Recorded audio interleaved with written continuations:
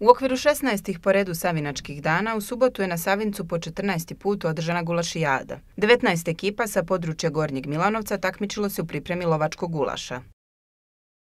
Takmičenje je počelo u 8, završava se u 12. U 1, ako komisija odradi, bit će proglašenje pobednika. Dobro, to je žiri. Koliko ima žiri u sastavu? E, trojica. I najbolji kotlić dobija Pa dobit će e, ovaj, pehar, e, kao i dosad, i prelazni pehar i bit će još neke usputne dodatne nagradice, tako koliko smo mogli da obezbedimo. Ono što je novina na ovogodišnje manifestaciji je šatra koja nije bila postavljena posljednjih 30 godina na Savincu povodom mlade nedelje zbog koje se Savinački dani tradicionalno i organizuju. Oni i stariji pamte srećna vremena kada je za mladu nedelju bilo i desetak šatri na ovom omiljenom Milanovačkom izletištu. Zbog toga organizatori komentarišu da je suština ovakvih dešavanja druženje, pogotovo što je zbog pandemije to jedno vreme bilo onemogućeno.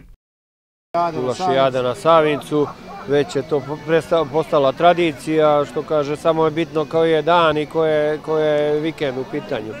Znači, većinom su 50% su stalni gosti, stalni prisutni. Imamo uvek novi kao i ove godine. Svake godine ima par, par udruženja sa strane novih, ali eto, čuje se i, i, i drugim opštinama da je za ovu manifestaciju. Bitno je pogotovo sad u ovo vreme e, korone i svega da su se ljudi malo otuđili, da su ipak sa ovim manifestacijama se opet druže.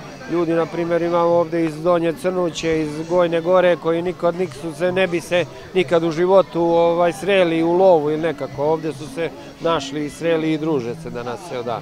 Pa evo, pripremamo lovački gulaš od srnetine i divlje svinje.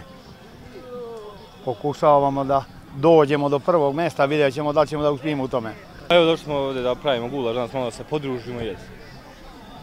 Ima li neka tajna? Vidim da nešto je drugačije, izgleda da kotlića dosta... Pa dobro, to svak ima nešto što radi drugčije, nešto što obaciva. Od, od čega će biti ovaj gulaš? Od divljača, divlje svinje. Svaka ekipa imala je svoju tehniku pripreme kao i tajni sastojak koji je ostao samo njima poznat. Prvo mesto za najbolje pripremljen lovački gulaš ove godine osvojila je ekipa lovačke sekcije Teočin.